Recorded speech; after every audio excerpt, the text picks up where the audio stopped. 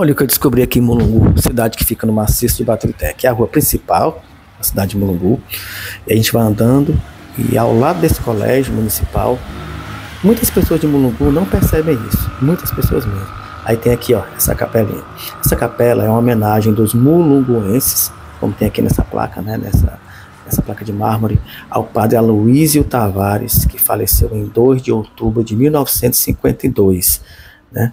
Olha, esse padre tinha apenas 27 anos de idade. Vou mostrar aqui, ó, dentro da capela, muito bem cuidada, por sinal, aí a, aí a, a figura, né, a foto dele, no caso, a gente vê que ele era bem jovem. E a história é que ele, inclusive está no site da própria paróquia da Arquidiocese.